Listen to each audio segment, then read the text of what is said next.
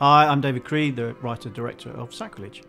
Uh, Sacrilege is about four women, a group of friends, who decide to get away from the weekend uh, in the country, where they get involved in a local pagan ritual where they are unwittingly offered up as a sacrifice for the summer solstice.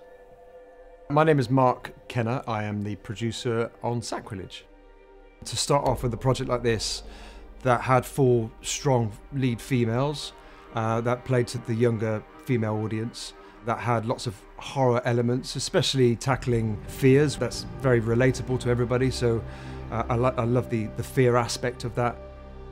So, what are the influences for Sacrilege? The obvious one is The Wicker Man, one of my favourite movies. And then, in general, just the, I think, taking very British kind of horror from folklore history and stories and campfire stories and stuff like that was was just in general that influence over the movie uh, was our rich history when it comes to those kind of stories uh, and just recreating that for a modern audience. There was lots of elements we wanted to put into this, like aerial drone shots, um, Burning Man, prosthetics, fire. Dave wanted a real dog on set.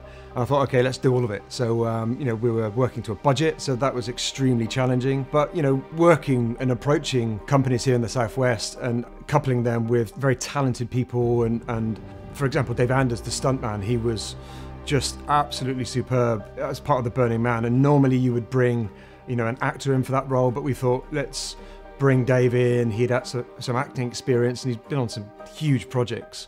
Um, so I think for me, the Burning Man was really, really challenging because we had fire, we had a big crew just for a one day shoot. We shot that after the main production in May, so we shot that in December. It was at night. Uh, we had fire, we had water, we had safety, and, you know, in the morning of the shoot, we didn't even have insurance because our insurance company dropped out and said we refuse to give you insurance, which was just petrifying two hours before the stuntman was about to arrive but we, we found a big insurance company in the end performance uh, media and they were just superb. They said yeah we do this all the time. So actually i think we are, we're triply insured. Um, but you know when you've got all the cast crew and everybody there to shoot and no insurance in the morning you know you can't take that risk to go and shoot that scene. And it's and if you look at the storyboards it's actually shot for shot exactly what dave wanted. So we're right up against the swimming pool with fire we're we've got prosthetics we've got everything in there. It's big safety briefing. Um, you know so i'm really proud of that scene actually. But every time i see the opening scene the drone shot shot in 4k over the forest of dean you know with colin's score and the initial credits coming up gives me goosebumps every single time